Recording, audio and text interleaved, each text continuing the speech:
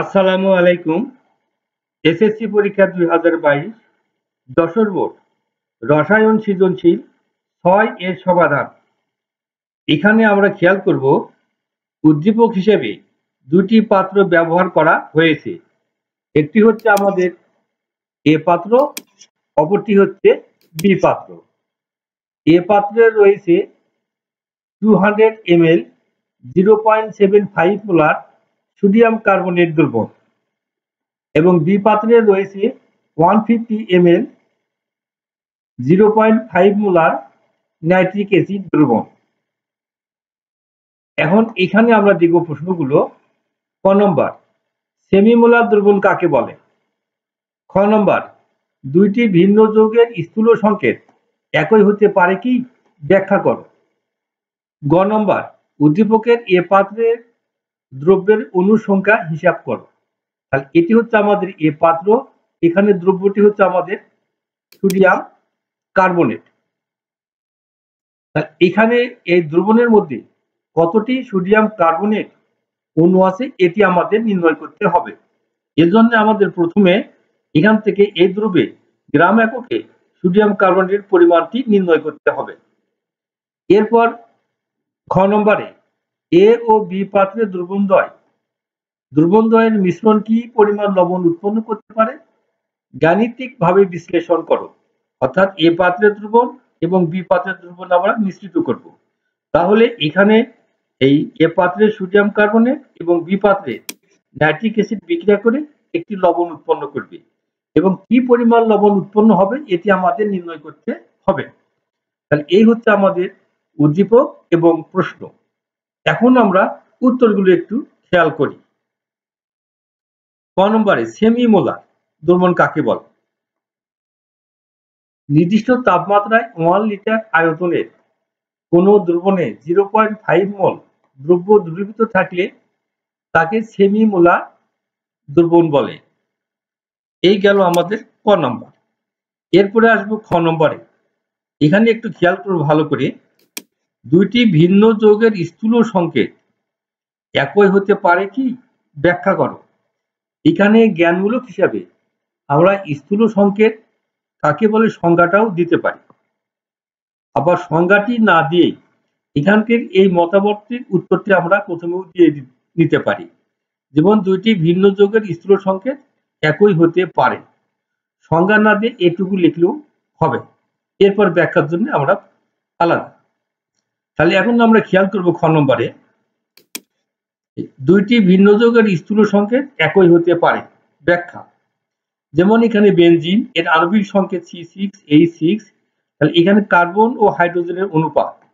Six is to six equal one is to one অর্থাৎ carbon আছে একটি, হাইড্রোজেনের পরমাণু আছে একটি। তাহলে অতএব বেনজিনের স্থূল সংকেত হবে সি এইচ আবার অ্যাসিটিলিন এর আণবিক সংকেত সি টু এইচ টু এবং কার্বন ও হাইড্রোজেনের অনুপাত। এখানে two is to two equal one is to one এই স্থূল সংকেতে, কার্বন আছে একটি, হাইড্রোজেন আছে একটি। এই, এখানে স্থূল সংকেত হলো সিএইচ এখানেও স্থূল সংকেত সিএইচ এখানেও স্থূল সংকেত সিএইচ এটি হচ্ছে আমাদের বেনজিন, আর এটি হচ্ছে আমাদের অ্যাসিটিলিন। দুইটি হচ্ছে ভিন্ন যৌগ। যেহেতু দুটি ভিন্ন যৌগ, কিন্তু স্থূল সংকেত একই, অতএব দুইটি ভিন্ন যৌগের স্থূল সংকেত একই হতে পারে। এই গেল আমাদের খ নম্বর। এরপরে আসব গ নম্বরে। এখন আমরা গ নম্বরটি খেয়াল করব। এখানে খেয়াল করি আমরা, পাত্র আছে দুইটি, একটি এ পাত্র আর একটি হচ্ছে পি পাত্র। তাহলে এ পাত্রে রয়েছে two hundred M L zero point seven five molar sodium carbonate দ্রবণ। আবার বি পাত্রে রয়েছে one fifty M L zero point five molar nitric acid দ্রবণ। আমাদের এখান থেকে নির্ণয় করতে হবে উদ্দীপকের এ পাত্রের দ্রব্যের অনুর সংখ্যা হিসাব করো। অর্থাৎ এ পাত্র, তাহলে এখানে আমাদের বি পাত্রের কোনো কাজ নেই। কোন পাত্রে? এ পাত্রে। তাহলে এ পাত্রের দ্রব্যটা কি? আমাদের সোডিয়াম কার্বনেট।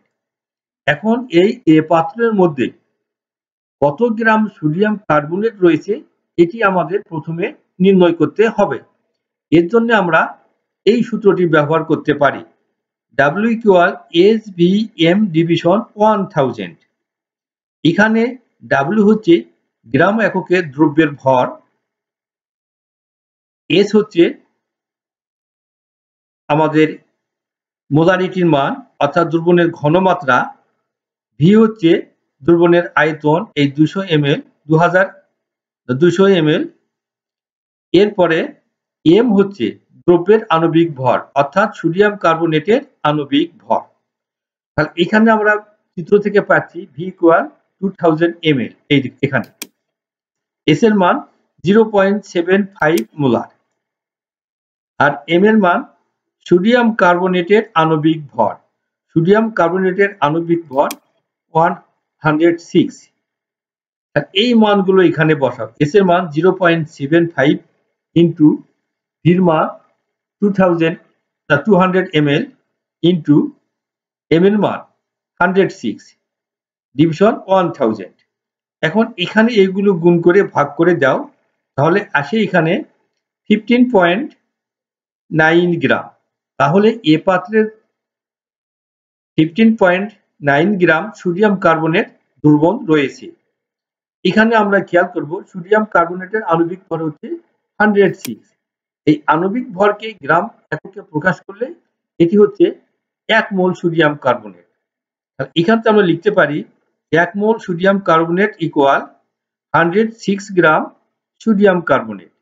আর তখনই আসবে আমাদের অনুসংখ্যা six point zero two three into ten power twenty thirty sodium carbonate অণু। তাহলে এখানে আমরা সূত্র প্রয়োগ করেও করতে পারি, এভাবেও করতে পারি। কীভাবে? এই দেখো এখানে। Hundred six gram sodium carbonate কার্বনেটে অনুসংখ্যা six point zero two three into ten power twenty টি তাহলে এখানে ওয়ানে কত? এই ফিফটিন পয়েন্ট নাইন গ্রামে কত?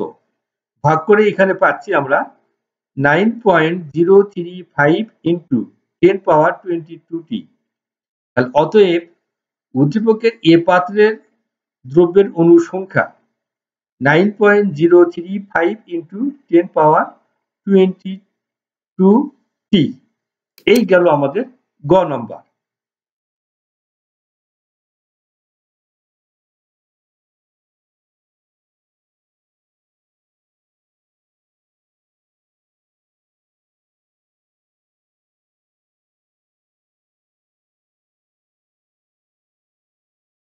এটির বিকল্প সমাধানও রয়েছে। এরপরে আসব ঘ নম্বরে। ঘ নম্বরে আমরা খেয়াল করব, ঘ নম্বরে দেওয়া আছে এখানে প্রশ্নটি, এ ও বি পাত্রে দুর্বন্ধয় দুর্বন্ধয় মিশ্রণ কি পরিমাণ লবণ উৎপন্ন করতে পারে? গাণিতিকভাবে বের করো। অর্থাৎ এই এ পাত্র এবং বি পাত্র, এর দুর্বন্ধটি মিশ্রিত করব। এ পাত্রে ছিল সোডিয়াম কার্বনেট এবং বি পাত্রে ছিল নাইট্রিক অ্যাসিড এই দুটি বিক্রিয়া করে সোডিয়াম নাইট্রেট লবণ উৎপন্ন করে এবং কি পরিমাণ সোডিয়াম নাইট্রেট লবণ উৎপন্ন হবে এটি আমাদের গ্রাম এককে নির্ণয় করতে হবে। তাহলে প্রথম কাজ হচ্ছে আমাদের এই এ পাত্রে কত গ্রাম সোডিয়াম কার্বনেট রয়েছে এটি নির্ণয় করা। ইতিপূর্বে কিন্তু আমরা গ নম্বরে এটি নির্ণয় করেছি। W equal H B M ভাগ এক হাজার এই সূত্র প্রয়োগ করে। এখান থেকে পুনরায় আমরা নির্ণয় না করে সরাসরি গ নম্বর থেকেও ব্যবহার করতে পারি, অথবা কেউ আমরা এখানে পুনরায় নির্ণয় করতে পারি। একই কথা, যেহেতু আমরা গ নম্বরে অলরেডি নির্ণয় করেছি, এখানে আমরা গ গ হতে প্রাপ্ত লিখলে বেশি সুবিধা হয়। তাহলে এখানে আমরা লিখতে পারি গ হতে প্রাপ্ত উদ্দীপকের এ পাত্রে সোডিয়াম কার্বনেটের পরিমাণ ফিফটিন পয়েন্ট নাইন গ্রাম এখন আমরা একই নিয়মে বি পাত্রে কত গ্রাম নাইট্রিক অ্যাসিড রয়েছে এটি আমরা নির্ণয় করব। এখানে দ্রব্যের পরিমাণ, দ্রবণের পরিমাণ দেওয়া আছে ওয়ান ফিফটি এম এটি হচ্ছে ভির মান, এটি হচ্ছে আমাদের এস এর মান, আর এখান থেকে এর আণবিক ভর হবে এম এর মান। তাহলে একইভাবে এখানে এই সূত্র প্রয়োগ করব।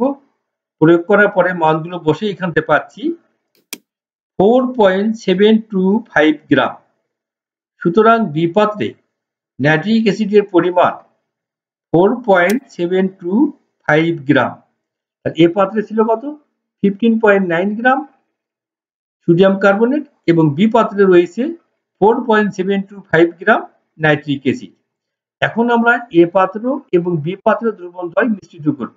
করার ফলে এ পাত্রের সোডিয়াম কার্বনেট এবং বি পাত্রের নাইট্রিক অ্যাসিডের মধ্যে বিক্রিয়াটি সংঘটিত হয়। যে সোডিয়াম কার্বনেট নাইট্রিক অ্যাসিডের সাথে বিক্রিয়া করে সোডিয়াম নাইট্রেট লবণ, পানি এবং কার্বন ডাইঅক্সাইড গ্যাস উৎপন্ন করে।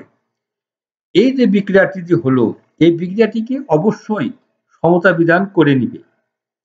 সমতা বিধান না করলে পূর্ণ নম্বর পাওয়া যাবে না।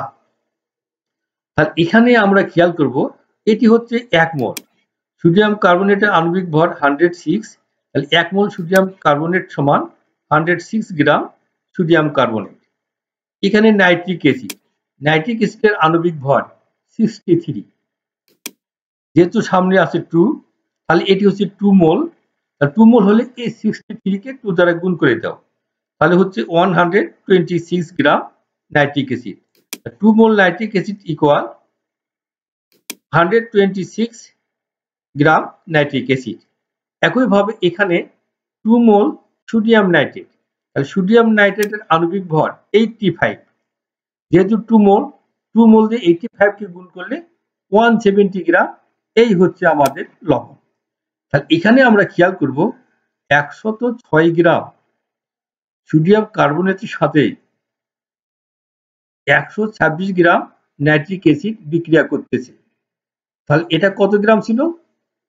এই তো, উনিশ দশমিক পাঁচ গ্রাম উনিশ দশমিক উনিশ দশমিক নয় গ্রাম উনিশ দশমিক নয় গ্রাম সোডিয়াম কার্বনেট কত গ্রাম নাইট্রিক অ্যাসিডের সাথে বিক্রিয়া করে?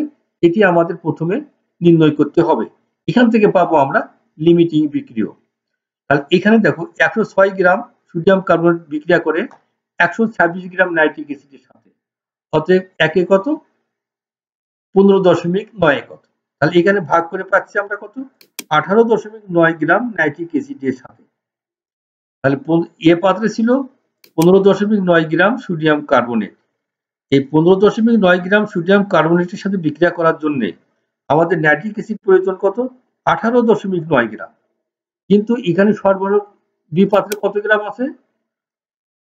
Four point seven two five gram. অর্থাৎ অনেক কম আছে। তাহলে কি হবে? এই নাইট্রিক অ্যাসিডটা বিক্রিয়া করে আগে শেষ হয়ে যাবে। অতএব নাইট্রিক অ্যাসিড হচ্ছে আমাদের লিমিটিং বিক্রিয়ক। সুতরাং এক্ষেত্রে নাইট্রিক অ্যাসিড লিমিটিং বিক্রিয়ক এবং লিমিটিং বিক্রিয়ক থেকে উৎপাদের পরিমাণটি হিসাব করতে হয়। তাহলে এখানে আমরা হিসাব করব এই নাইট্রিক অ্যাসিড থেকে। তাহলে কীভাবে লিখব?